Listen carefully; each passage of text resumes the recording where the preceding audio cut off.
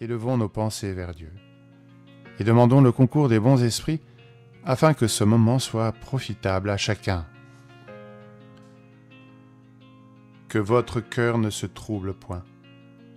Vous croyez en Dieu, croyez aussi en moi. Il y a plusieurs demeures dans la maison de mon Père. Si cela n'était, je vous l'aurais déjà dit, car je m'en vais pour préparer le lieu.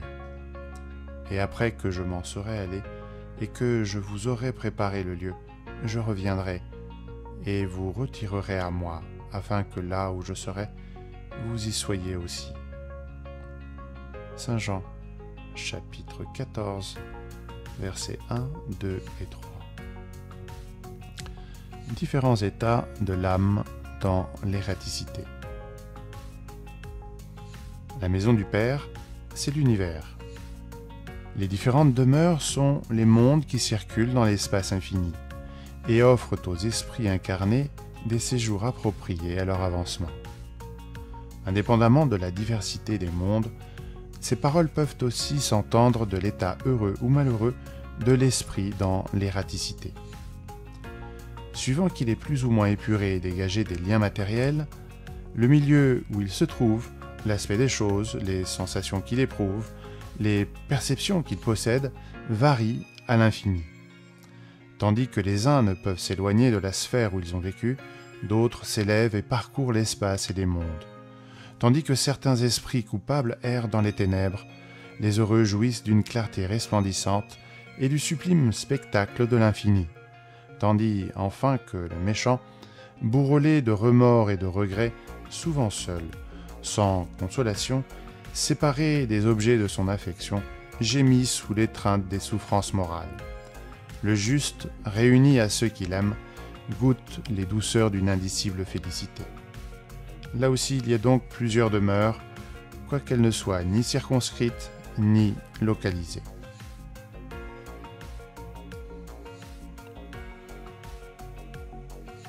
Nous voici sur Terre à vivre selon certains repères. Ceci nous invite à réfléchir sur notre condition ici-bas.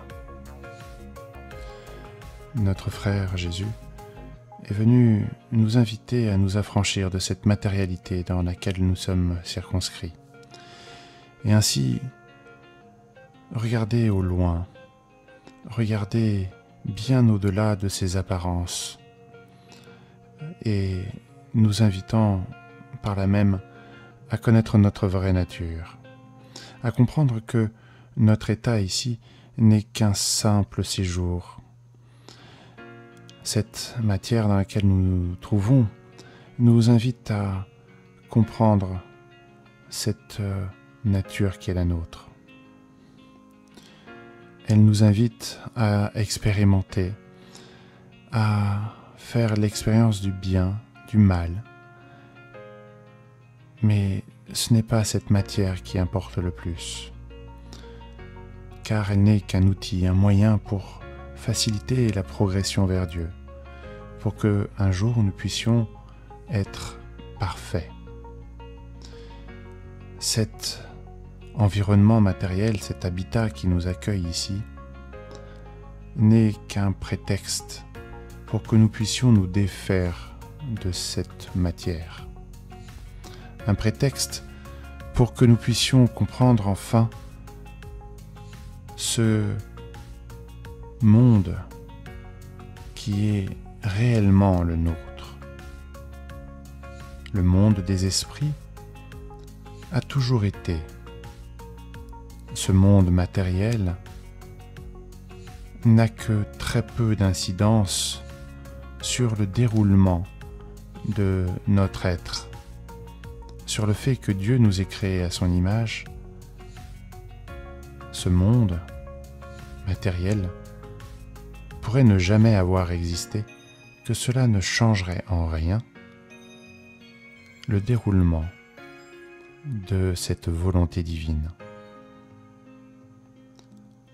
Ce passage dans la matière est donc circonscrit à ce monde physique et chaque monde a sa propre propriété Le nôtre est ainsi fait avec certaines lois physiques. D'autres mondes seront d'une autre nature. Et chaque milieu est approprié à une certaine expérience. Nos mondes ici, encore très denses, très grossiers, favorisent une certaine progression morale.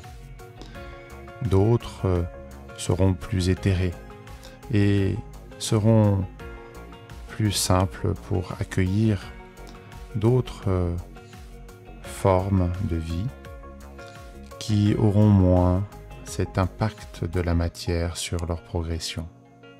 Plus nous progressons vers Dieu, moins cette densité matérielle s'imposera à nous.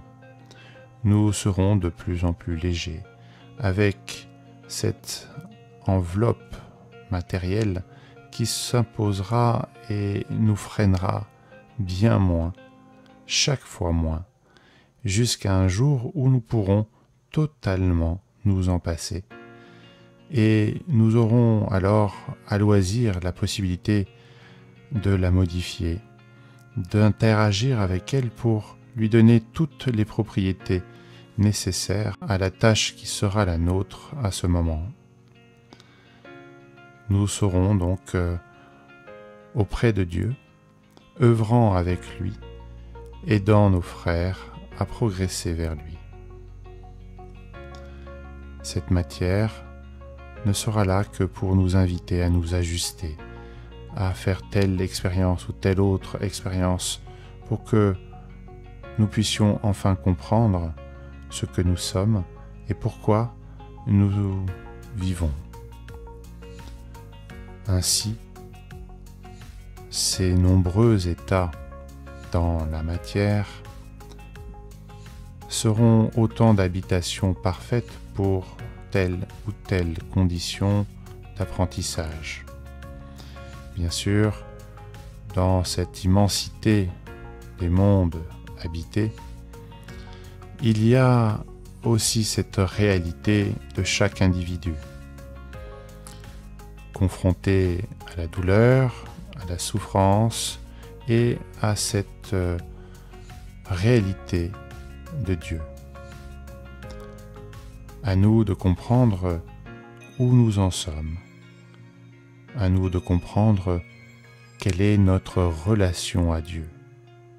Et Jésus, qui est venu il y a plus de 2000 ans dans ce monde physique, continue d'interagir avec ses habitants, avec euh, chacun d'entre nous. Il nous invite à comprendre ses enseignements, continuant à nous aimer, à nous inviter à progresser vers Dieu. Et lorsque nous nous tournerons enfin vers Dieu et accepterons enfin de progresser vers cette perfection absolue, il viendra nous accueillir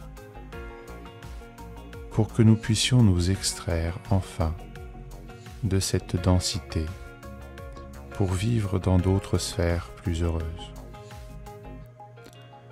Comprenons que ce monde n'est qu'éphémère, passager, utile à une certaine expérience. Comprenons aujourd'hui ces lois morales qui nous invitent à retrouver notre réelle nature, à la comprendre, à la vivre pleinement. Soyons attentifs à cet appel qui nous a été fait et qui nous est renouvelé très régulièrement. Un jour, lorsque nous serons rappelés à nouveau à la patrie de l'Esprit, nous constaterons cette réalité. Alors, en fonction de nos affinités, nous nous retrouverons dans des mondes plus ou moins heureux en fonction de nos choix de vie et surtout de leurs conséquences. prions pour que nous puissions être éclairés, apaisés, afin de vivre pleinement ce que nous avons à vivre maintenant.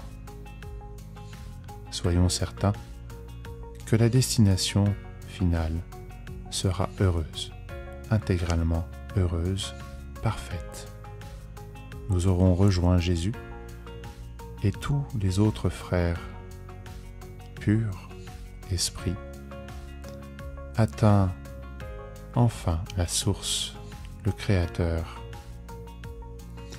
pour contribuer à la réalisation de sa volonté.